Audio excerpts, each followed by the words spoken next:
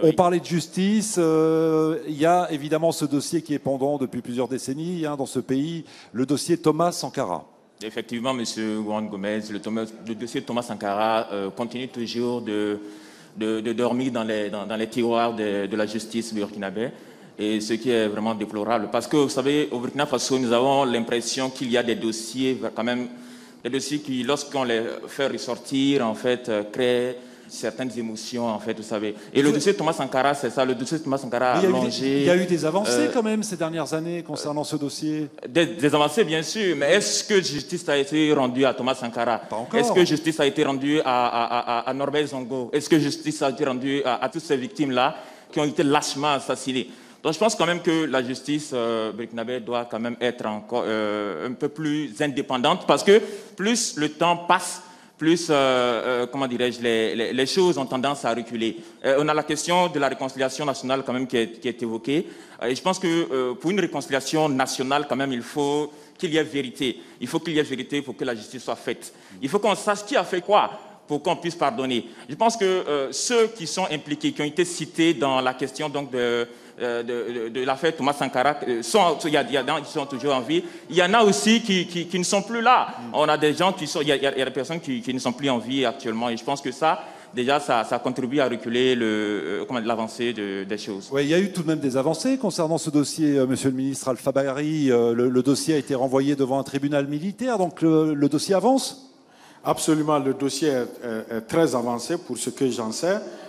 Et je vais vous dire pourquoi le dossier est avancé. En ce moment même, et vous savez, le juge d'instruction, selon mes informations, le juge d'instruction a bouclé le dossier, mais seulement, mais seulement, c'est que vous savez bien, c'est ici même dans cette salle et devant vous que le président Emmanuel Macron s'était engagé à fournir les archives concernant le dossier Thomas Sankara.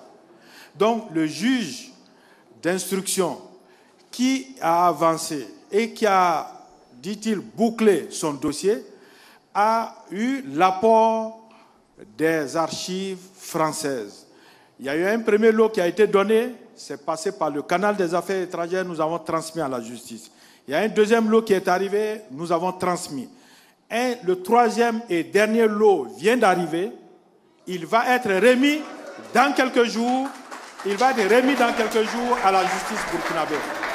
Donc, donc, ce n'est pas moi, ce n'est pas le gouvernement, et contrairement à ce que l'étudiant dit, depuis 2015, la justice burkinabé, je présume déjà votre réaction, mais vous allez en souffrir, la justice burkinabé est indépendante. Il y a un éminent, il y a un éminent avocat Laissez le ministre aller jusqu'au bout de son à explication. la télévision nationale, il y a un éminent avocat très connu euh, dans notre pays qui a dit que la justice burkinabé était la plus indépendante au monde. Il a dit devant le leader, il a dit, il, il a dit devant le leader, un des leaders des magistrats qui n'a pas contesté.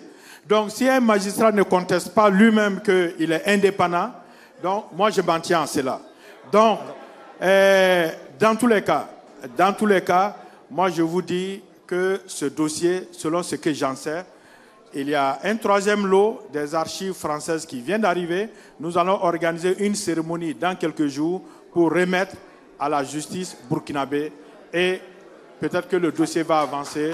Voilà. Voilà, c'est vrai qu'il y a une impatience, on le constate au sein du public, même si le public euh, voilà, est rassuré par l'arrivée de ces nouveaux documents en provenance de, de France. Euh, Boubacar Sanou, en quelques mots, et on donne la parole de nouveau aux étudiants. Bon, non, bon, vous savez, nous, nous pensons qu'il faut éviter de mettre la pression sur les juges. Oui. Laissons les juges avancer à leur rythme et nous pensons que l'occasion nous sera donnée d'assister au procès et de découvrir la vérité. C'est tout ce que j'ai à dire.